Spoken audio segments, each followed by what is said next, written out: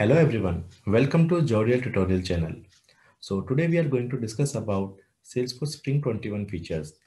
So in this release, Salesforce has given many features that are very useful. So let's discuss one by one. So as the first feature, it's the Lightning Web Component action. So the Lightning Web Component can be used as Lightning Quick action, just like the Lightning Component. And we can customize the headers and footers very easily. So in this example, you can see that the action type, we can select lightning web component and uh, whatever the lightning web component we have developed, we can uh, use that. The next one is convert leads into person account and business account at the same time. So instead of contact, we can convert the lead into person account and business account. For that, we have to use Apex API and there we need to use some couple of methods like this uh, set related person account ID and the set related person account record. So in this example, we can see that if we have a lead, then we can provide lead ID over here.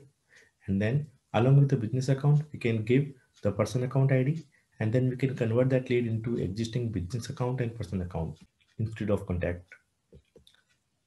The next one is renaming updates. Uh, Salesforce has renamed Lightning Flow as a Salesforce Flow, Lightning Flow Builder to Flow Builder, and Lightning Process Builder to Process Builder. The next one is Lightning Page Performance. So in Winter 21, Salesforce has given this feature to analyze the Lightning Page Performance. But here to the next level, Salesforce has given some more features that we can analyze what how much time has been consumed to be loaded to this each and every specific section. So in this screen, you can see that the related list, path, list view, highlight panels and activities. So how much time each and every section has consumed to be loaded. We can see that. So it is more useful to analyze the page performance now. The next one is manual sharing in LEX. So in Lightning, we can have this option of sharing. This option was only available in the Salesforce Classic earlier, but now Salesforce has given this option into LEX and interface as well. So the next one is create relationship to opportunity product it is the most awaited feature because till now we were not able to create a lookup of opportunity product, but now we can create the lookup of opportunity product on any custom object. So the any custom object be the child of opportunity product now.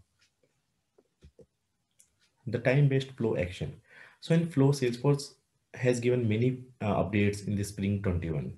So one of them is that the time-based flow action. So now we can add any time-based flow action on flow on a particular condition. So using schedule path, we can do that.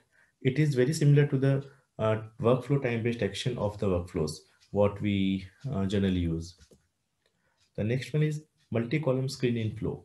So in flow, now we can use a screen to be now in a screen, we can have the multi-column in flow.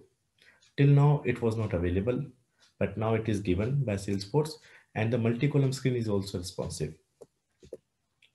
The next one is flow can compare old and new values. Yes, just like the trigger, we can compare the new value with the prior or old value in flow as well.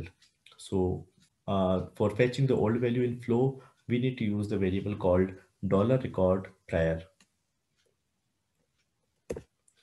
The next one is rich text emails from Flow. Yes. So now in Flow, whatever the email we are sending, we can send with the rich text format. It means uh, we can format the body of the email and we can send that email. Till now, we were only be able to send the email with very plain text format. Then last but not the least, the reduced guest users permission. So Salesforce has removed the view all, modify all, edit and delete permission on all objects for guest user. So now the guest user can only be able to read and the create records, but not the modify all or any delete or any edit permission they have in object. So these were the most popular features what Salesforce has given in Spring 21 release. I hope you liked the video and found it informative. Thank you so much.